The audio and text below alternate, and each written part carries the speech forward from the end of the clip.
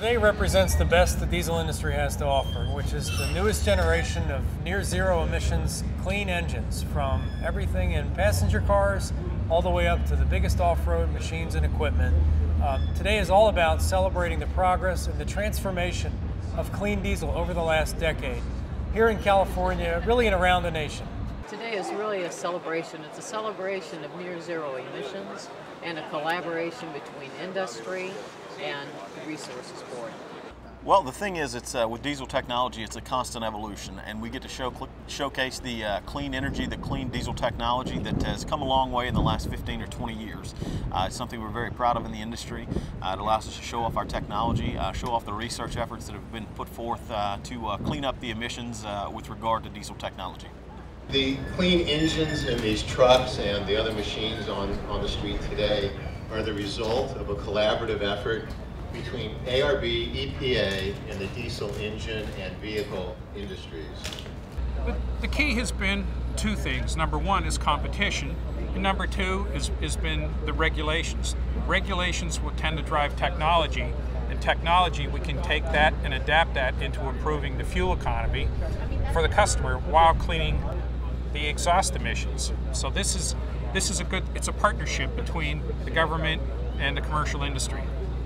This has been a 20-year journey for industry, and it's been an exciting one. And it's an awful lot of hard work, a lot of money, a lot of people's careers, a lot of technology, and all focused on customer value and near zero emissions. 20 years ago, if you would have told me that we, were, we would be where we are today with a diesel engine that's near zero emissions, I would have told you you're crazy. And it is a wonderful time for the industry as a whole that we've embraced the technology to get to where we are today. We'll see a continued uh, reduction in our emissions levels. Uh, we will see more of a focus on greenhouse gas emissions, uh, and that goes hand in hand with the efficiency of the engines. It's 90% cleaner than it was before. We get better fuel economy than we did 20 years ago, and we've got about eight to 10,000 pounds more freight that we haul on the same vehicle. What you see here today are products that we have developed that meet the most stringent emissions regulations in the world and deliver the value that our customers expect every day. Diesel power has become the dominant uh, source of power for all the commercial vehicles in the United States today.